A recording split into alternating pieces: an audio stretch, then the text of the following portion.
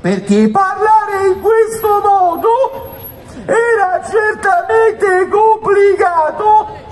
Primo sindaco donna ma con le palle così. Ecco, poi dopo di me è arrivato Gigino De Magistris che invece era un bell'uomo, no? De Magistris arrivato a Napoli come sindaco, camminava sempre senza cravatta, la camicia tutta spuntata, infatti era sempre stupietta così De Magistris camminava innanzi alla stupietta così. Io ho capito perché ha fatto lungo mare liberato a Napoli, o solo obietto tu quantissimo suo figlio.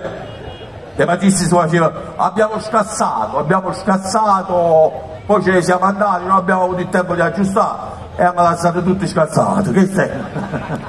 dopo, dopo De Magistris è arrivato l'attuale sindaco Manfredi. Credetemi, mi dovete credere, io non lo volevo imitare, perché detto ma perché ha già fatto forza tutti i sindaci. Però camminavo per strada a Napoli e i napoletani mi fermavano, tanto mo io fa Manfredi, ma perché ha già fatto forza.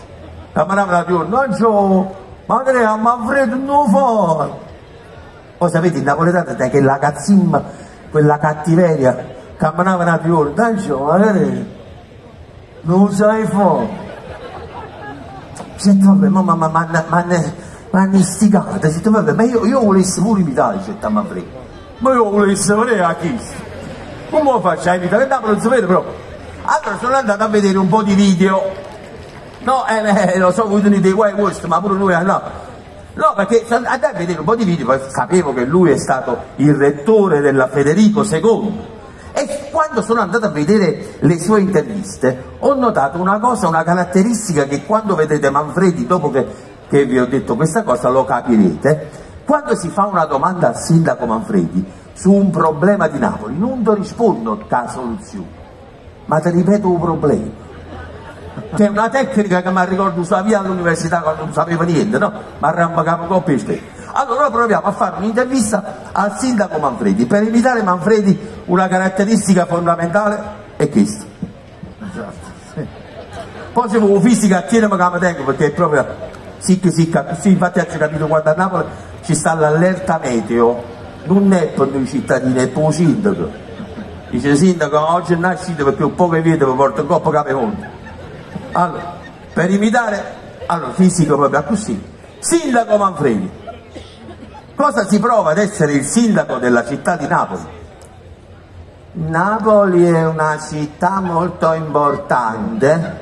Napoli è una città che confina a nord con Caserta, a sud con Salerno, ad est con Benevento e Avellino. Napoli è una città importante per il turismo, per l'agricoltura e la coltivazione delle barbabietole da zucchero.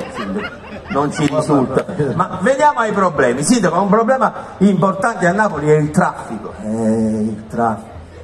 Il traffico è un problema importante perché quando c'è il traffico non si va né avanti né indietro soprattutto i turisti non riescono a vedere le bellezze della città e soprattutto il traffico non permette la commercializzazione delle barbabietole da zucchero.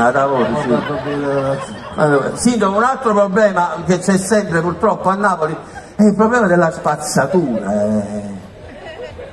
Dicesi spazzatura il sacchetto costruito sul del catetere del no, Asaccia, Asaccia, che è un problema importante perché la, il turista cammina, cammina, guarda sempre in alto per vedere le bellezze, non vedi il sacchetto e ti puoi inzampare però si potrebbero riempire i sacchetti di barbabietole da zucchero. Una volta.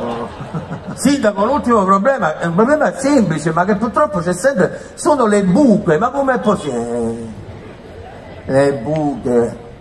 Quanti problemi che tiene Napoli, eh? Tutti quanti a da vermouth.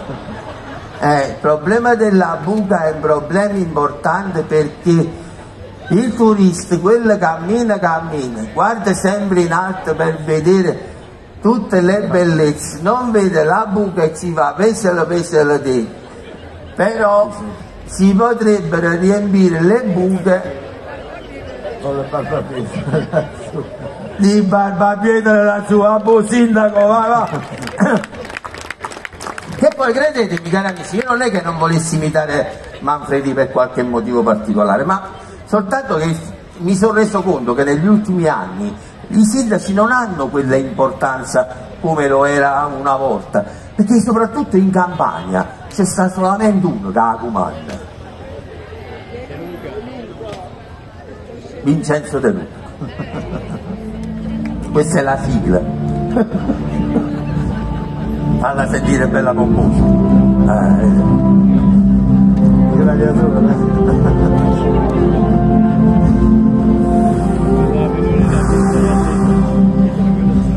Sembra che mi incattivisco perché sento una personcina per buona, per fare De Luca ho bisogno di entrare nella cattiveria. Cazzo proprio fumando una tipo d'oro. Stiamo totalmente cambiando la regione Campania.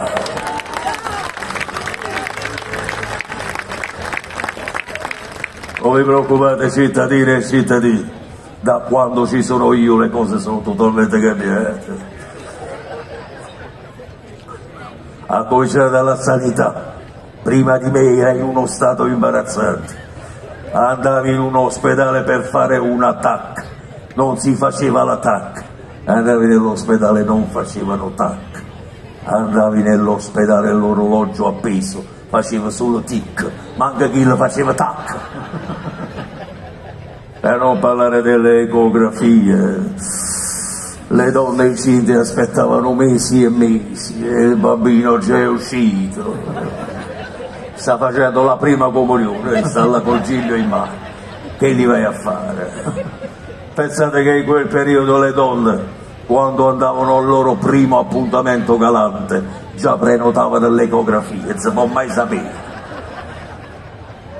Però parlare delle spese folli che ho trovato fatte dalla precedente gestione, vai a vedere i conti degli ospedali, 200.000 euro di spese degli ospedali per comprare i pappagalli.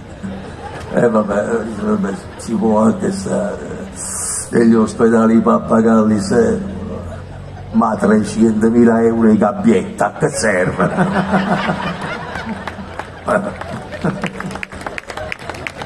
Però parlare dei mezzi di trasporto, quando arrivai a Santa Lucia parlavano di un treno, io pensavo parlassero della dirigenza del Far West invece parlavano della circunvesuviana, che è veramente straordinario. Tanto adesso grazie a me i turisti da Napoli con la circunvesuviana arrivano a Pompei, il turista entra nella circunvesuviana per andare a Pompei, si guarda attorno e pensa che sta a Pompei, tanto che è vecchia si fanno i selfie, wonderful, la colonna romana, no, il Louvre, Brasil c'è sta. La circunvesuviana del mese scorso. È arrivato il ministro giapponese in visita a Napoli. A un certo punto sapete come sono questi giapponesi, sono tecnologici, mi ha guardato e ha detto noi in Giappone abbiamo un treno che in un'ora tocca i 450 km orari. Se gli vai a rispondere. Detto il ministro giapponese, noi a Napoli abbiamo la circunvesuviana, dove in un'ora un rattuso tocca 450 persone. Giapponese zitto. Vabbè, andiamo avanti. Ringraziando Dio vi vedo senza mascherine. Come era bello l'epoca delle mascherine, quando parlavo e avevo i lanciafiamme a portata di mano. Vabbè, vabbè, vabbè. Io però lo dico sempre, mettiamole le mascherine, diceva, ma non per il Covid ma dopo due anni vai a togliere la mascherina d'improvviso, non sai quello che esce sotto. Questi sono i risultati. Vabbè, un saluto a voi e alle vostre famiglie. Amen.